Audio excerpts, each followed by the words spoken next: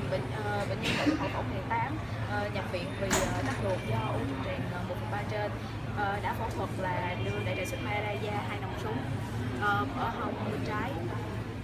Uh, triệu chứng thứ năm là bệnh nhân đã bệnh nhân không còn đau nữa bệnh nhân ăn uống được thì uh, túi hồng, uh, hồng môn nhân tạo đã ra phân bệnh nhân xì hơi được bệnh nhân không có khát nước uh, không sốt. Uh, đi lại thì bệnh nhân đã vận động được độ 3 uh, tiết tiểu Ừ. khám phần khám thì ờ, sinh sinh hiệu ổn bệnh nhân tỉnh uh, sức tốt ờ, thể trạng trung bình. Còn da niêm thì hơi nhạt máu hơi nhạt.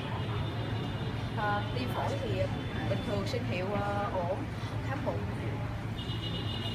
Khám bụng thì bụng không chứa Thôi được rồi, được rồi. Khám đi, yêu cầu có gì thì dạ.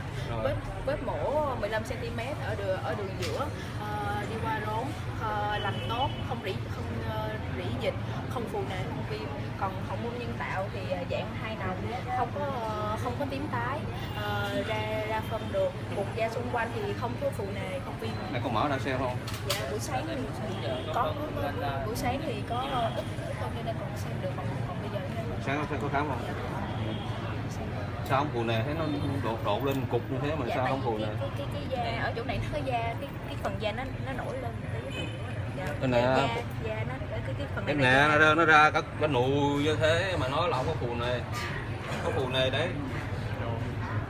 Nha, cái bụng thì sao? Khám bụng thì thấy thì sao? dạ khám bụng thì là bụng mềm vẫn không đau không có ờ, cũng không có điểm đau khu trú với lại uh, dao động độ tám Ừ. Rồi, luận sao? Dạ kết luận là bệnh nhân Đi nữ mấy? thứ ba. Rồi, Dạ, bệnh nhân nữ nhập viện vì ờ, tắc ruột do u tràng cao. Ờ, có hậu môn nhân tạo hai nòng đào hậu môn nhân tạo tạm hai nòng ở bên phải và chưa lòng trên ừ. Như là có u con nòng trong bụng? Dạ còn Lý do tại sao phải làm hai nòng? dạ làm hai nòng vì ờ, để ờ, thứ nhất là để giải cái cái cái, tình trạng ờ, tắc ruột. Cái thứ hai là để cho bệnh nhân ờ, ờ, cái cái lúc mà đóng lại thì nó dễ dàng hơn hai nòng mình đóng lại thì nó Hai nòng đóng lại dễ dàng thôi Làm kiểu qua đóng lại có dễ dàng hay không? dạ có À, tại sao không làm kiểu qua mà làm hai kiểu hai nòng? dạ tại vì ờ, cái đã có cắt một phần tràng Ủa sao nó mới nó nó u nằm trong bụng mà Có cắt đại tràng chưa? Cắt không? Xem chưa được? Ừ. Lý do tại sao làm hai nòng? Mục đích của của hồng môn nhân tạo này là để làm cái gì?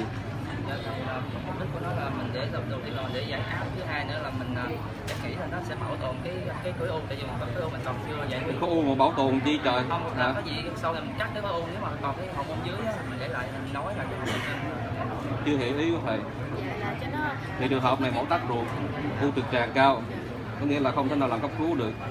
Nghe lý do sao không làm cấp cứu được? Ờ, Rồi cái gì nữa? Dạ giống là lúc đó đánh giá phẫu thuật thì lúc đó là cắt ruột cho nên nó phải niêm mạc Nếu mà là cấp cứu thì làm phẫu thuật gì? Dạ phẫu thuật là sẽ ờ, cắt ờ, U trực tràng cao làm cấp cứu phẫu thuật tên tên là gì? Chỉ cần biết như thế là đủ rồi. hạt man. U trực tràng cao phẫu thuật man. Man là sao dạ hạt man là sẽ ờ, cắt ờ, các khối u đầu trên này mình sẽ đại đại tràng Các khối u. xuống. Hạt man là sao? Đồng ý với ý kiến của bạn không? Thì tùy theo cái khối u ừ. thì nếu mà khối u nếu mà nếu mà xâm lấn nhiều hoặc là nó ở giai đoạn Không được. Thôi được rồi giải thích luôn mất thời gian quá. Nha Không còn non lắm Nha U trực tràng không làm cấp cứu được Thì nếu làm không làm trị căn trong cấp cứu Tại vì sao? Là nếu làm là phải làm phẫu thuật rất là lớn Siêu phẫu ấy, là cắt trước Nên là cái mỏm cắt nó phải nằm ở dưới phúc mạc Ở trong cái vùng vùng tiểu khung ấy. Thì nó, nó rất là lâu và rất lớn. Nha cho nên là đa số hầu hết phẫu thuật viên ta chọn là chỉ đưa tạm ra ngoài thôi. Đưa ra để mục đích giải áp. Nha dạ. giải áp thôi sau đó là người ta mổ ta cắt người ta, người ta đóng lại luôn còn biết không? Còn nếu giải áp không thì chỉ đưa kiểu qua là được rồi. Nhé còn đâu có nhất thiết phải phải phải cắt đô nó ra đưa hai đầu đâu mà chỉ chỉ mục đích giải áp thôi mà. Cái khu này nó có xì có thủng gì trong bụng không?